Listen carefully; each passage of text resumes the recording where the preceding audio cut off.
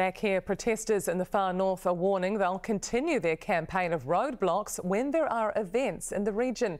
This after they failed today to stop an annual fishing competition from going ahead. Helen Castles has more. 742. These fishermen weren't discouraged by the protesters. We're all one people. We're all here for a good time. We enjoy the kaimoana. Just because it's good comp, we go to it every year. Three days out from the competition, Ngāti Kahu iwi members went public with plans to stop the Doubtless Bay Fishing Classic, which has run for more than 40 years. But today, the only blockade was here at the Taipa boat ramp, where only one fisherman who claimed he was Ngāti Kahu tried to get through. You're an embarrassment now, babe. Eventually giving up. Several others approached the protesters and turned around. So now you just go elsewhere. By the looks of things. Many competitors instead heading to other doubtless bay spots like Perehipi Beach, where local hapu members were taking a different approach.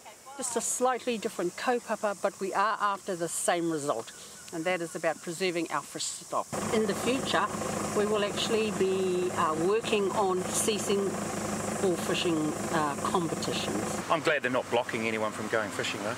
Grateful for that. The stance of this Ngāti Kahu group could have a flow-on effect. Whanaunga from up north, um, all around Te Hiku o Te Ika, have said, sent their support and then they also, um, they've been feeling this way for a while now of all the fishing competitions, the torpedo competitions, the jet skis, um, even the snapper bonanza. And that's why the competition organiser was so adamant not to cancel. We can't really get into a situation where we can't have a tournament because one minor group um, dictate otherwise. More than 250 people entered the fishing competition and today they weighed in 400 crayfish and fish that are now being auctioned off with profits going to the local community. The largest snapper weighed 11.8 kilos and that was caught by a local man fishing off the rocks.